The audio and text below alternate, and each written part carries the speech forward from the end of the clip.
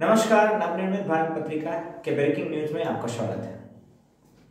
आज बाढ़ मंडल के ग्रामीण क्षेत्र, वेटगांव में दिन दहाड़े कुछ आपराधिक तत्वों के द्वारा गोली चलाई गई।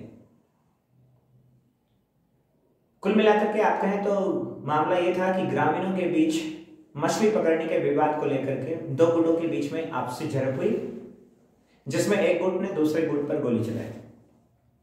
गोली चलाने के क्रम में ग्रामीण जित्तू यादव के भतीजे धनंजय कुमार को गोली लगी।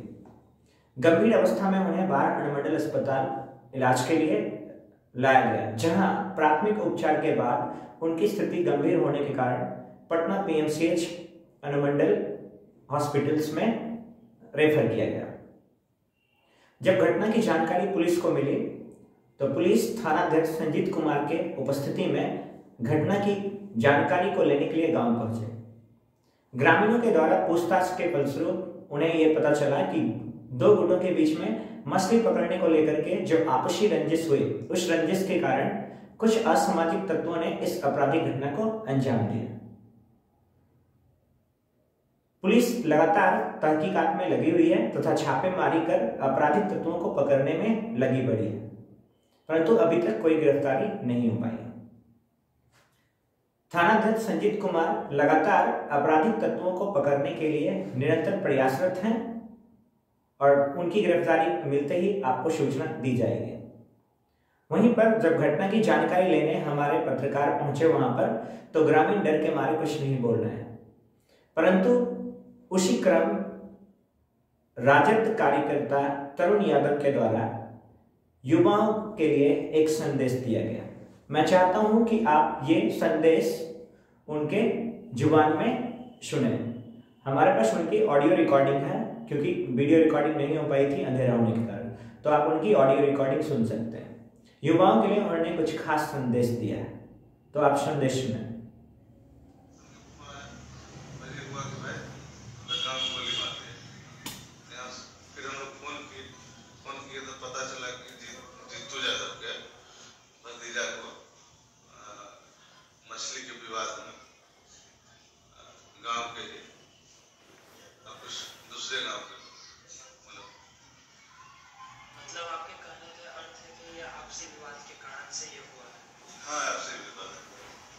इसका पूरा सूचना आप क्या कैसे देना चाहिए इसका सूचना तो आप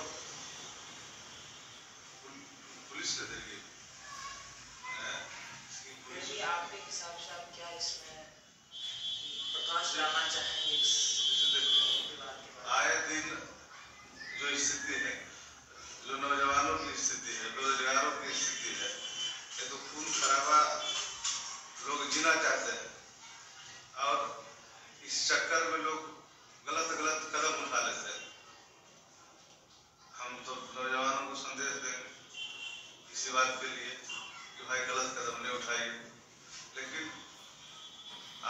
देश का हालात है।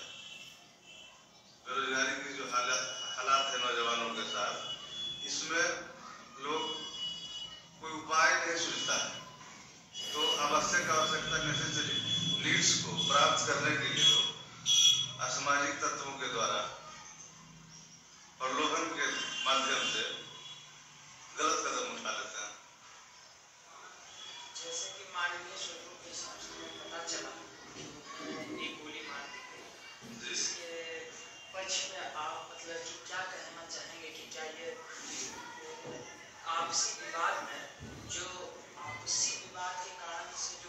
पालन के काम से कार्य से हुआ था या कोई और भी दूसरा वजह भी हो सकता है देखिए, वहाँ तो ग्रामीणों का जो कहना है मछली पालन का ही विवाद है।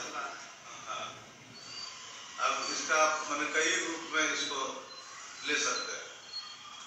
कई रीजन हो सकते हैं वो तो पुलिस तहकीकात करेगी चलिए धन्यवाद जी हाँ दोस्तों तो आपने खुद सुना है। खास करके उनके द्वारा ये बताया गया कि आए दिन जो भी घटनाएँ को अंजाम दिया जाता है, उसके लिए मुख्यतः बेरोजगारी जिम्मेवार है। तो यदि हम कहें, यदि हम माने कि बेरोजगारी जिम्मेवार है तो इस बेरोजगारी को पैदा करने के लिए हमारी सरकार जिम्मेवार है। तो इस आपराधिक घटना को अंजाम देने के लिए जितना जिम्मेवार वो आपराधिक या असामाजिक तत्व है, उतना ही जिम्मेवार हमारा सरकार भी है।